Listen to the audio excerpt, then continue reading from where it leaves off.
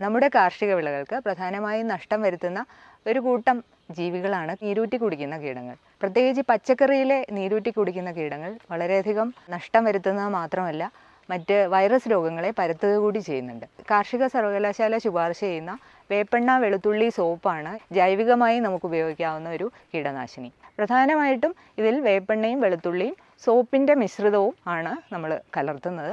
ഇതിന് പത്ത് മാസത്തോളം സൂക്ഷിപ്പ് കാലമുണ്ട്.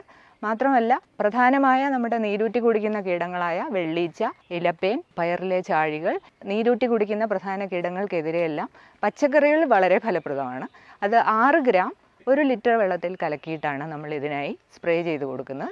ഈ സ്പ്രേ ഇലകളുടെ ചുവട്ടിലും കൂടി വീഴാനായിട്ട് ശ്രദ്ധിക്കണം. കാരണം പലപ്പോഴും നീരൂറ്റി കുടിക്കുന്ന കീടങ്ങൾ ഇലകളുടെ അടിയിലായിരിക്കും ഉണ്ടാവുക. ഇതിന് കൂടാതെ മറ്റ് വാഴയിലെ പുഴുക്കൾക്കെതിരെയും വളരെ ഫലപ്രദമാണെന്ന് കണ്ടിട്ടുണ്ട്.